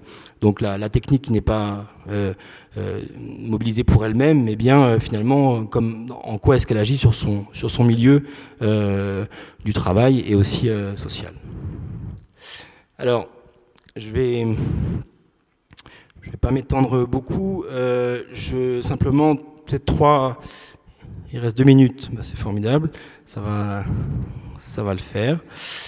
J'avais prévu court, mais alors. Euh, donc, il s'agit de sélectionner les informations parce qu'il y en a beaucoup. Et euh, alors, la grande chance, en fait, c'est de ne pas l'avoir découvert tout de suite. Parce qu'en fait, je le connaissais avant de le découvrir. C'est-à-dire que comme j'ai dessiné 50% euh, des bâtiments avant de, le, avant de les découvrir, le fond, bah, il se trouve que par chance, les documents, j'ai pu... Euh, bon, ils étaient très bien classés, je ne sais pas pourquoi, ça c'était une grande chance, mais quand même, j'ai pu rentrer finalement dans une grille de, de, un peu sélective assez, assez rapidement. Donc on voit qu'il y a comme ça une série d'ouvrages techniques qui sont un peu... Euh, je sais pas, comme les grands architectes, des espèces de marottes comme ça, des choses qui le, qui le prennent. Donc, euh, ces fermes sous-tendues, on voit ici des, notamment en bois avec des, bon, performances assez, incroyables. Ici des portées d'environ 7-8 mètres et des, sections d'environ 11-12 cm de hauteur. donc l'économie ici elle est vraiment mise en application. Ici ce qu'on a vu tout à l'heure, les fermes du genre Polonceau mais en mobilisant un maximum les ressources du domaine. Ici on va le voir après, des travail très intéressant sur le sur le sur l'auvent, toujours en regardant la terre. En photo, les bâtiments sont très très bien conservés aujourd'hui. Euh, quasiment, donc il y en a encore quelques-uns qui sont en exploitation, parce que forcément c'est extrêmement moderne. On était dans des, étables qui accueillaient environ 80-90 vaches laitières, ce qui aujourd'hui euh, peut trouver finalement place dans, l'économie actuelle.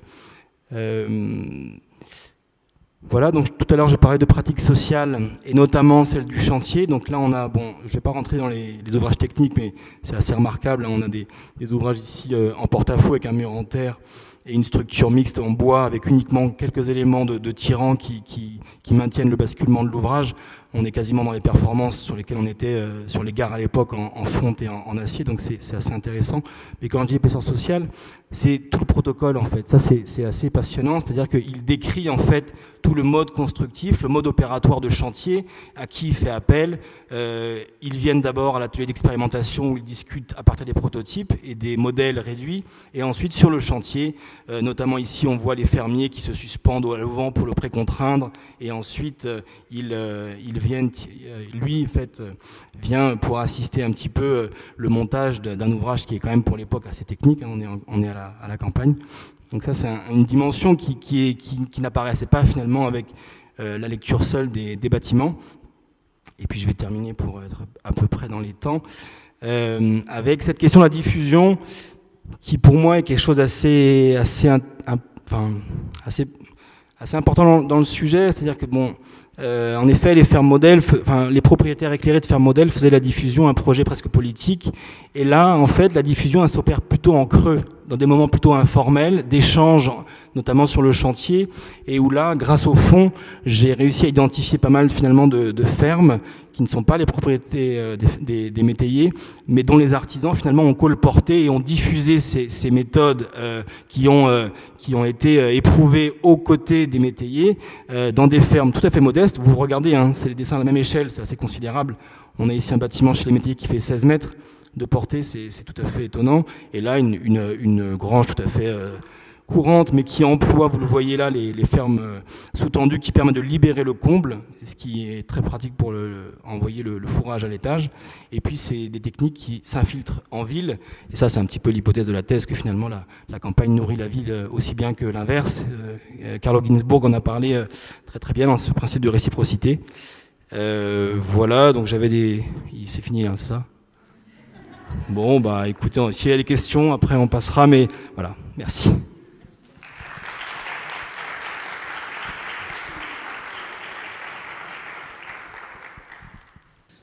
Oui, j'ai une question pour euh, Hugo Massir. Euh, est-ce qu'il faut toujours raisonner euh, en termes de dichotomie modernité-tradition Je me pose la question. Est-ce qu'on n'est pas, par ce biais-là, un peu piégé par à la fois notre anachronisme de, personnes du 21e siècle avec nos étiquettes à, nous Est-ce qu'on n'est pas non plus piégé par les appropriations des différents doctrinaires de, l'époque Je pense donc à Umdastock qui effectivement euh, s'approprie un petit peu la, chose. Est-ce que les frontières ne sont pas quand même beaucoup plus floues que cela? Euh, Je me pose la question, je vois par exemple ce plan d'Amiens de 1940 où on est là vraiment tout à fait dans, la continuité de ce qui se passe dans les PAE, de la, loi Cornudet, de, de, l'entre-deux-guerres, où on a vraiment dans la, continuation des modernes de l'époque, hein, des Josely et compagnie.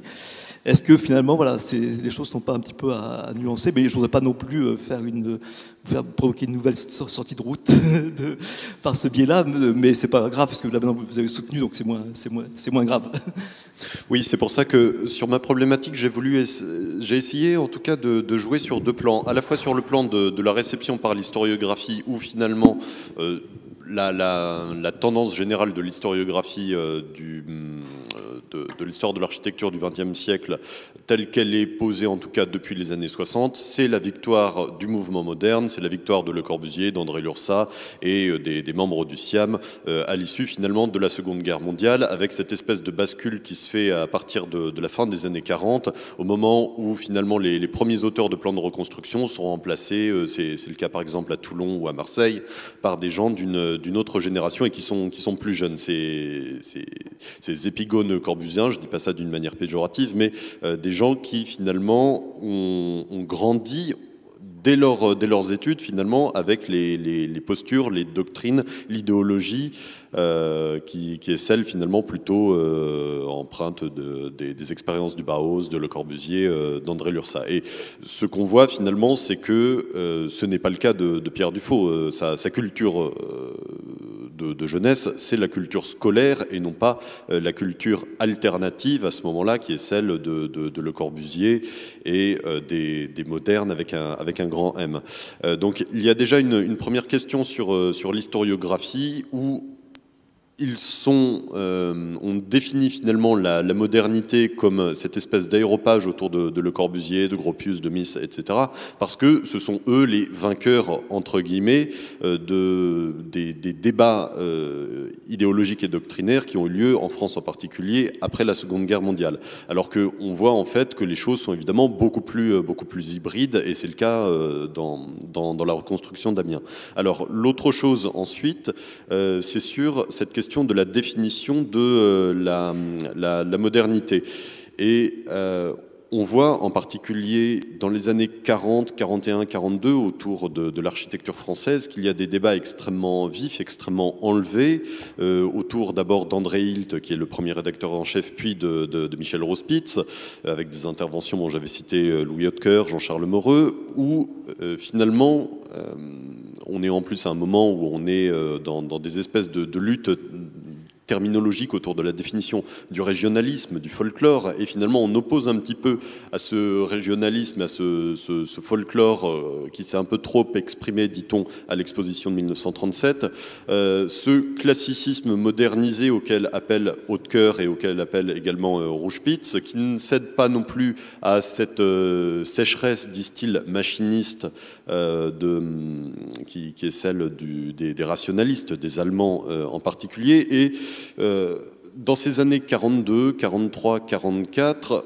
on se dit que finalement on est parvenu à trouver ces espèces de formules de modernisme euh, apaisé qui finalement consiste en euh, un travail euh, d'épuration évidemment formelle, de, recours tout de même à, des pièces rapportées en matière d'art et de sculpture surtout, et en des références discrètes à, l'histoire, au vernaculaire évidemment, mais surtout c'est une question d'ordre moral. La modernité s'exprime par la discipline par l'ordre, par des termes qui évidemment sonnent un petit peu, un petit peu creux aujourd'hui, comme euh, l'harmonie, des questions euh, d'ambiance. Et euh, cette espèce de vague qu'il y a autour de, ce terme d'harmonie, de, bonhomie également, un mot qu'on utilise beaucoup dans, ces années 42-43, Pierre Dufaux essaie de, rester un petit, peu, un petit peu en dehors, mais il reste en dehors de toute façon des, des postures idéologique trop, trop prononcé, mais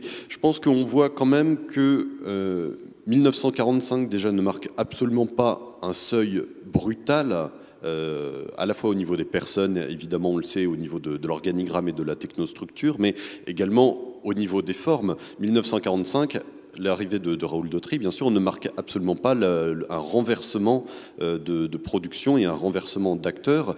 Et on a finalement, encore à la fin des années 40 et jusque dans les années 50, ces, euh, ces bâtiments, comme j'ai pu les montrer ici à Amiens, ces, maisons particulières qui montrent cette espèce de modernisme un petit peu Assagi, qui est une, oui, une, modernisation, une simplification des, formes héritées de, l'histoire de l'architecture classique. Je ne sais pas si je réponds un petit peu à votre question.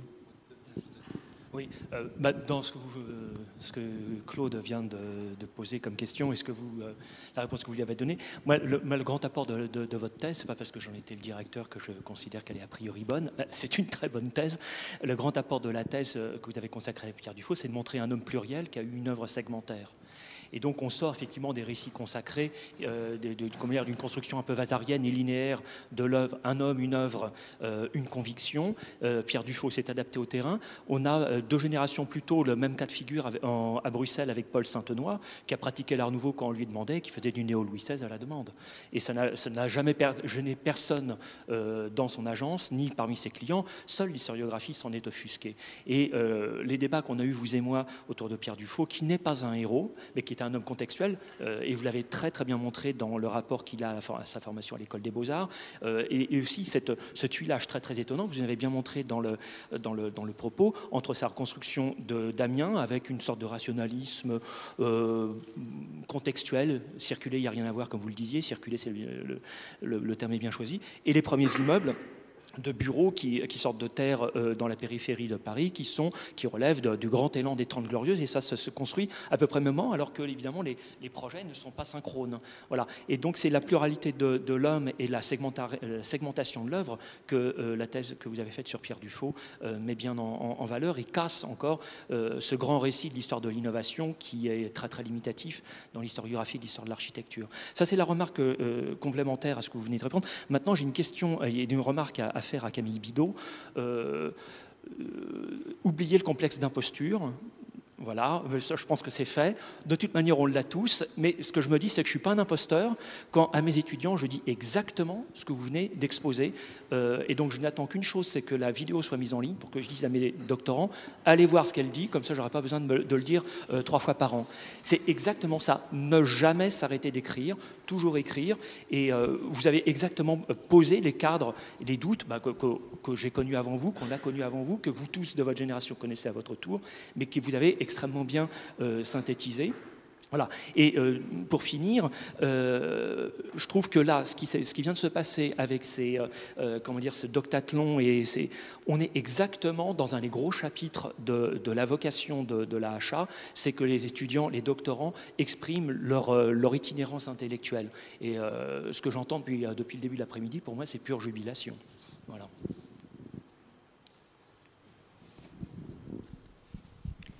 Est-ce qu'il y a d'autres questions? Oui, au fond. Oui, non, j'avais juste une petite curiosité. Qu'est devenu le fonds d'archives euh, que vous avez découvert concrètement? Il est caché en lieu sûr. Non, j'ai la chance de le, descendant donc de d'Octave Métayer et quelqu'un de très, euh, enfin, avec qui je m'entends très bien, et donc, il, pour l'instant, alors, c'était dans les points un petit peu que je voulais ouvrir, mais j'ai pas, pas eu le temps. Évidemment qu'il y a la question du versement qui, qu'on est en train de discuter, que je vais peut-être aussi discuter avec mon directeur. Enfin, pour l'instant, c'est un peu passe ton, passe ton bac et après on passe la thèse. Euh, mais en la question du versement, elle est, elle est importante. En tout cas, aujourd'hui, j'ai la chance que ce, finalement, euh, de pouvoir avoir à ma disposition euh, tout le fond pour le, pour le travailler. voilà.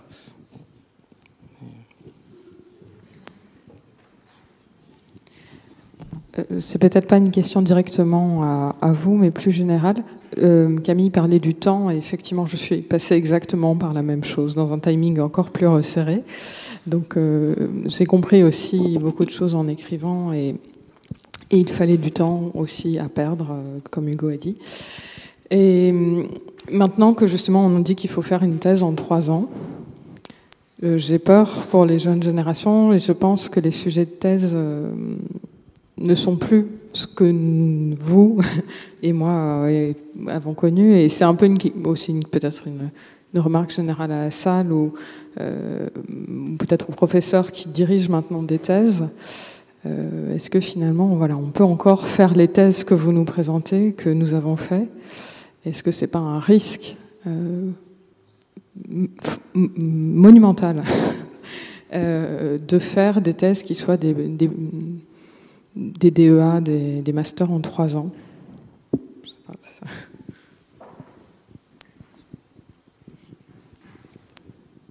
Quel est l'avenir?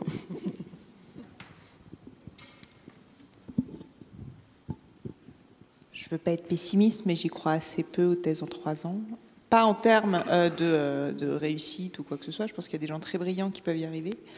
Euh, mais je pense que vu le nombre de contrats doctoraux de base, euh, tous ceux qui n'en ont pas, c'est difficile, euh, puisqu'il faut bien se financer à côté, et donc euh, c'est difficile. Donc pour tous ceux qui n'ont pas de contrat doctoraux de base, euh, j'y crois pas, bon, peut-être, mais voilà. Et après, pour ceux qui en ont eu un, les chanceux, euh, ils n'ont pas réussi non plus en trois ans. Donc, je pense que ça reste euh, complexe, même si, voilà, il, apparemment, il y en a qui, c'est avec les nouveaux contrats doctoraux, là, il y en a certains qui essayeraient de les passer en trois ans. On va bien voir ce que ça donne, mais euh, pour l'instant, je pense qu'on n'y est pas encore. En tout cas, en architecture. Après, en histoire, je ne veux pas être défaitiste, hein, mais je ne sais pas si. Je crois aussi que dans le cadre de l'exercice de la monographie, surtout sur l'architecture de la grande quantité, et ça va être le plus en plus euh, le cas à mesure que bon, les, les architectes qui aujourd'hui partent à la retraite ou qui sont même encore en activité vont, vont donner leurs archives et Ouais, que bon, il faudra déjà les inventorier et ensuite les traiter. Euh, si on reste sur une durée de, de thèse en trois ans, à moins de révolutionner une fois encore euh, l'écriture de, de la monographie, mais je, je vois mal comment est-ce qu'on peut faire une thèse en, en trois ans sur, je sais pas, des, des, des- pointures aujourd'hui comme euh, Henri Siriani, euh, par exemple, enfin des, gens qui ont derrière eux 40 ou 50 ans de, carrière euh, en, en trois ans, sauf à avoir déjà un peu débroussaillé le, sujet en master 1 et, et en master 2, mais en trois ans, ça me paraît extrêmement compliqué euh, d'arriver déjà à bien connaître euh, le, sujet et ensuite, comme ça a été dit, d'arriver à se baser sur ce cas de, de- micro-histoire ou en tout cas sur cet échantillon pour en arriver à saisir des, des éléments d'éclairage généraux sur, euh, sur la période, sur la tendance dans laquelle cette personne, cet artiste, ce créateur s'inscrit.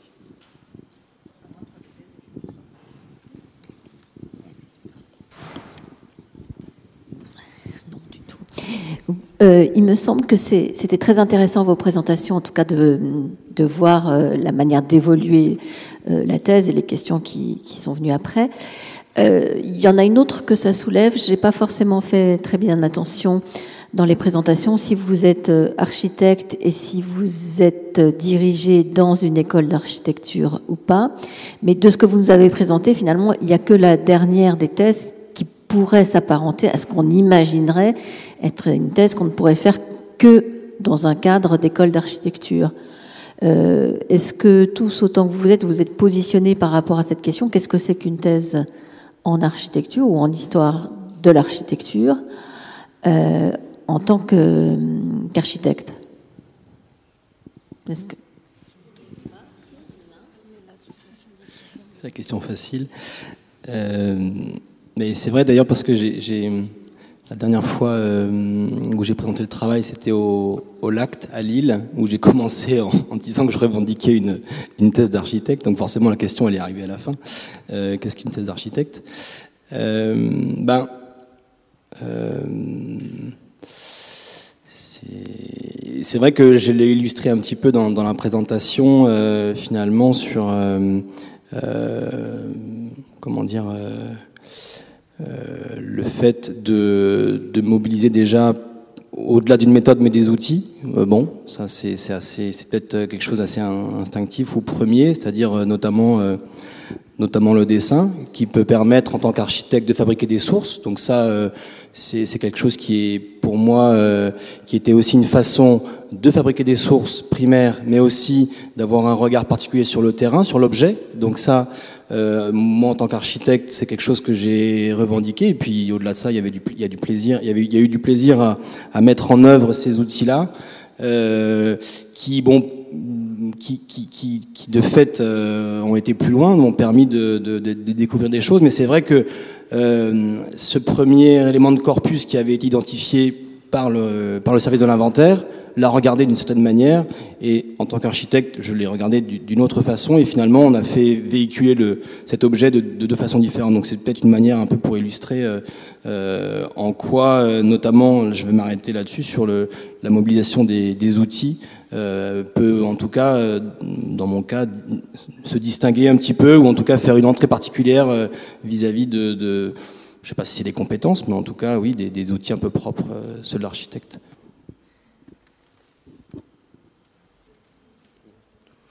Bah, moi, j'ai un parcours vraiment d'histoire de l'art en université, licence, master, euh, doctorat. Donc, euh, Pierre Dufaux, c'est pas quelqu'un qui, de toute façon, va avoir énormément travaillé sur euh, l'innovation structurelle, l'innovation constructive, qui aura été, il a été quelqu'un d'extrêmement pragmatique, qui aura relativement peu fait de, de recherche architecturale, relativement peu d'invention, mais qui aura su saisir l'esprit du temps. Donc, finalement, c'est plutôt cette, il a fait du big business. Il a su comprendre quels étaient les besoins de son époque et quels étaient les besoins en particulier des entreprises et du secteur privé.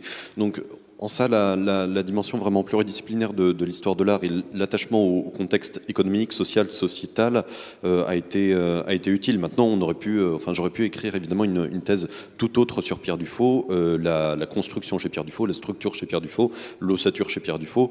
ça aurait aussi été comment est-ce qu'il produit le bâtiment finalement? Effectivement. Oui, moi pour le coup, en contrepoint euh, finalement un peu à ce qu'a dit Hugo tout à l'heure, euh, moi pour le coup, j'ai l'ambition de plutôt m'inscrire vraiment en historienne de l'art qui aborde euh, la question de l'architecture, mais voilà, avec des méthodes et. Enfin voilà, j'ai vraiment pas du tout le. Enfin, je suis pas architecte et j'ai pas le. Enfin voilà, j'ai un parcours aussi histoire de l'art et ce qui m'intéresse, c'est aussi plutôt les comme je l'ai dit tout à l'heure, les échanges entre les pratiques artistiques et aussi euh, tout ce qui englobe euh, l'histoire culturelle et aussi euh, plus des, questionnements historiques. alors que moi, effectivement, je suis plutôt la mauvaise élève de la question, puisque je suis architecte et que je fais clairement une thèse d'histoire, d'histoire de l'architecture, d'histoire des d'histoire du patrimoine, d'histoire des, même pire, d'histoire du service, etc. Donc des choses euh, auxquelles effectivement, pour laquelle effectivement j'étais pas du tout armée et c'est entre autres pour ça aussi, je pense que j'ai eu des problèmes au début puisqu'il a fallu déjà que j'apprenne à lire. Euh, mais du coup, euh, par contre, je pense que c'est un vrai lien qu'il y a entre l'histoire de l'architecture et la thèse en architecture puisque certes j'avais du mal à lire, mais je pense que j'avais une bien meilleure lecture pour le coup, de toutes les archives euh, architecturales, euh, tout ce qui a euh, puisque j'ai surtout lu Paul Léon, mais j'ai aussi énormément étudié les, études de cas, et dans les études de cas, il y avait aussi bien les planches de l'architecte que les devis préparatoires, que ce que l'architecte disait de ce qu'il des planches qu'il faisait, et où là, pareil, et on ne sait pas toujours. Avec mon regard d'architecte, je savais lire ce qu'il disait, surtout ce qu'il ne disait pas. Euh, voir qu'il disait oui, oui, juste on réutilise, on reconstruit un peu, et quand dans le devis il y a 100% de pierres neuves et, euh, mise au gravois, bon, on sait bien ce que ça veut dire aussi. Donc voilà, je pense que euh, j'ai le problème de ne pas avoir eu de formation historique pour le coup, ce qui me pénalise un peu, mais que j'essaye de rattraper avec le temps. Et du temps, j'en ai eu à force. du coup, voilà, je pense que effectivement, moi, je fais plus une thèse. J'aurais beau avoir le tampon euh, thèse en architecture le jour où je l'aurais soutenu, euh, j'aurais plutôt une thèse en histoire de l'architecture. Ce qu'on m'a reproché d'ailleurs le jour où je me suis inscrite en thèse en me disant mais vous êtes en train de nous faire une thèse en histoire et vous n'êtes pas historienne, votre directeur de thèse est architecte, euh, personne, enfin ça va être extrêmement difficile. Ce que j'avais un peu mal pris, mais je crois que mon directeur l'avait encore plus mal pris que moi. Donc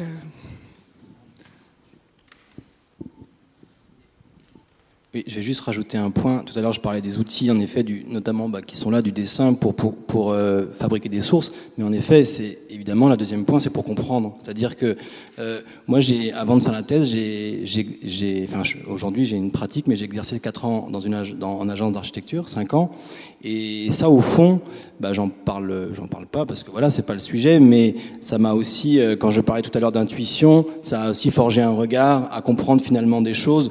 Je, je suis pas en train de dire qu'un historien ou un sociologue, etc., comprendrait pas les mêmes, les mêmes, les mêmes choses que j'ai pu lire, mais notamment quand on parle de, de construction ou d'un dispositif particulier constructif pour faire la relation pour ne pas s'arrêter, entre guillemets, c'est pas péjoratif, mais à ce qui est un matériau ou une portée, mais faire, la relation, et c'est bien là où on situe dans l'histoire culturelle et technique, faire la relation entre une portée, un usage, une pratique, là oui, je pense que la formation d'architecte m'aide à faire ce lien finalement entre quelque chose qui est de l'ordre de la technique et quelque chose qui est de l'ordre soit d'une pratique sociale ou euh, sur une stratégie territoriale. Voilà.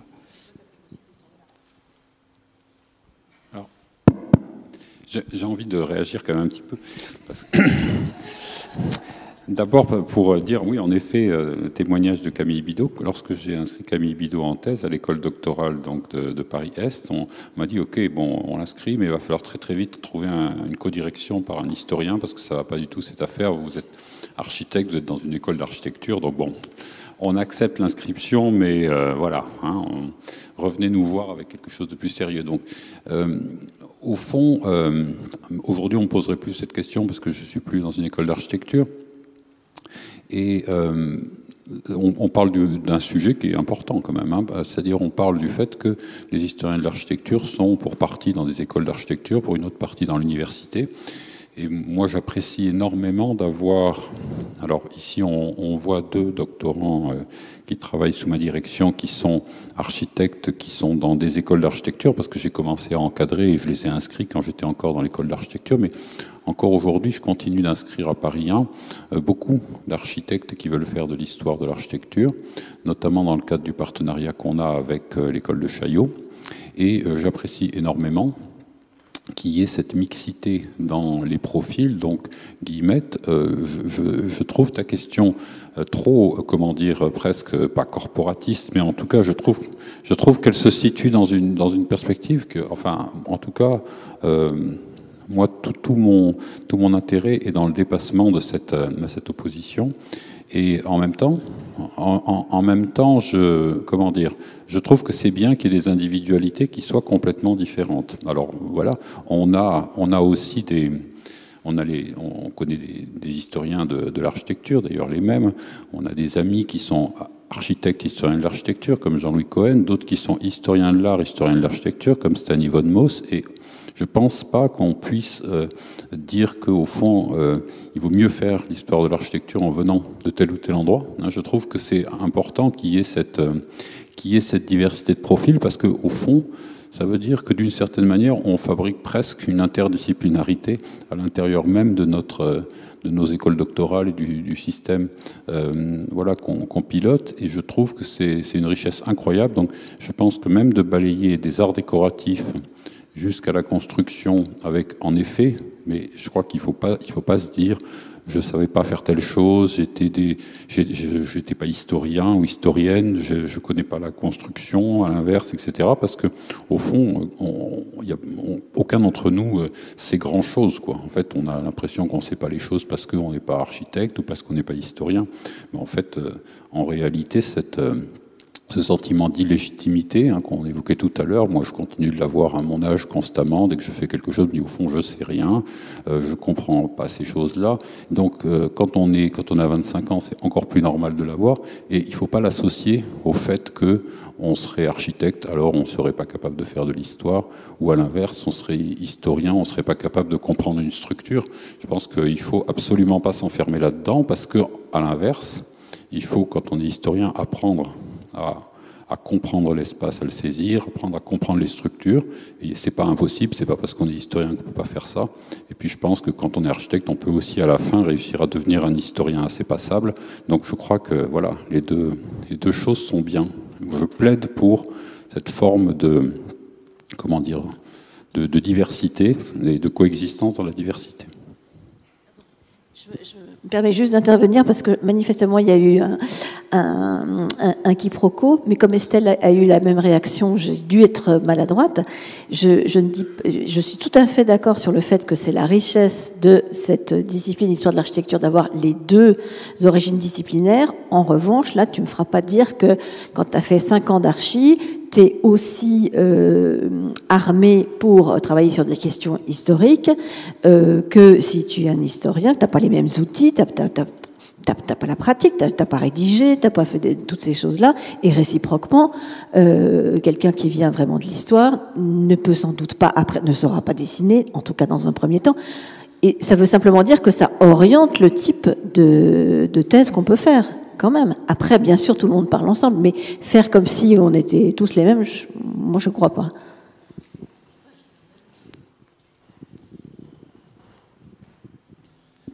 Oui, euh, moi je prolonge le, propos de Jean-Philippe. Euh, il va y avoir euh, en 2019 un colloque organisé sur le bilan scientifique de Gérard Monnier. Gérard Harmonier n'était pas architecte, il a formé des, historiens d'architecture qui venaient euh, en, grande en grande partie euh, du métier d'architecte, des écoles d'architecture, et ça a produit effectivement, comme le disait Jean-Philippe, une interdisciplinarité qui fait notre richesse. Et c'est encore une fois, euh, c'est vraiment tout le centrage de l'AHA que de produire ici même en ce moment ce bouillon de culture. Alors la pierre, elle est dans notre jardin à l'université. pourquoi nos étudiants en histoire de l'art n'apprennent pas à faire du relevé? Et ça, c'est euh, dans les cadres des maquettes actuelles en histoire de l'art, c'est quelque chose qui peut véritablement se débattre. À savoir que euh, cette thèse sur euh, les fermes modèles métayers, c'est quelque chose que je n'aurais aucune, aucune gêne à encadrer à l'université. Et, ce qui serait fantastique, c'est que les étudiants en histoire de l'art apprennent à faire, du, relevé comme vous venez de le faire pour être encadrés en école d'architecture. il m'est arrivé d'envoyer mes étudiants en histoire de l'art produire des thèses en école d'architecture, les envoyer à Pierre Pinon. Hein. et, moi, je plaide pour une complète et euh, comment dire qu'on n'a pas les outils en histoire, bah, on les acquiert. Et c'est tout le travail de la thèse. Et je pense que quand on est en thèse, c'est un apprentissage de l'autonomie intellectuelle. On a les moyens, on a le temps euh, de, rattraper ce, background historique et méthodologique. Pour moi, ce n'est pas du tout un problème. C'est un défi, c'est une envie. Donc, il y a, pour moi, ce n'est pas deux planètes complètement différentes. C'est au contraire, on est dans une hybridation.